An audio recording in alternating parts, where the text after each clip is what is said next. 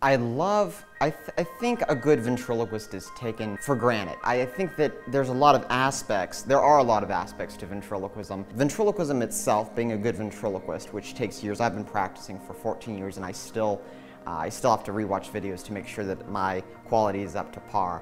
Uh, but there's the ventriloquism aspect, there's the manipulation, the puppeteering of the actual puppet or the ventriloquist figure if they're made of wood.